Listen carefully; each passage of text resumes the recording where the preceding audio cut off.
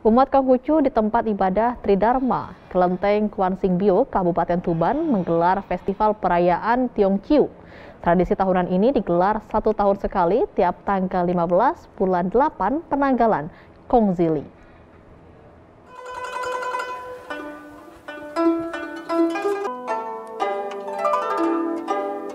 Puluhan umat Konghucu di tempat ibadah Tridharma Kelenteng Kuan Sing Bio Kabupaten Tuban menggelar perayaan Tongchu atau kue bulan.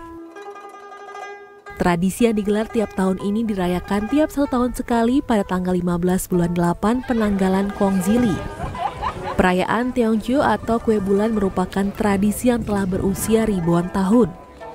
Warga Tionghoa juga menyebutnya sebagai festival pertengahan musim gugur.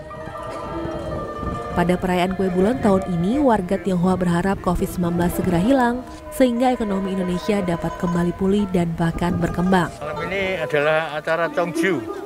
Chongju itu pertengahan musim musim rontok gini. Jadi waktu itu uh, Ming menang dengan negara Mongol. Gitu. Nah, yang terpenting sekarang itu kita butuh butuh kemakmuran jadi Dewi Bulan itu akan memberikan kemakmuran pada kita. Selain itu juga bisa menjaga kita. Semoga aja COVID kita bisa hilang semua karena vaksinnya vaksinasinya juga sudah berjalan lancar. Ritual sembahyang diawali dengan memuja Dewi Bulan dan dilakukan di alam terbuka.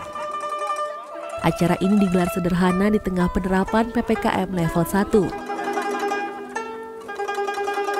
Setelah membacakan doa, acara dilanjutkan dengan menikmati keindahan bulan purnama. Sebagian umat menyusuri sungai dengan perahu tradisional menyusuri kolam di halaman belakang kelenteng Kuan Sing Bio. Sedangkan sebagian lainnya duduk santai sambil menyantap kue bulan dan secangkir teh hangat beserta keluarga sambil menikmati keindahan bulan purnama. Acara Tongjuk ya, lagi makan kue bulan sambil meminum teh. Hmm itu tujuannya apa sih Biar pengen ya tahu. kita kayak gimana ya menikmati bulan menikmati purnama ya bulan nah. purnamanya di sini nah. ini dirayakan setiap tahun atau gimana ya setiap tahun ada Ritual sembahyang perayaan kue bulan dilakukan dua kali.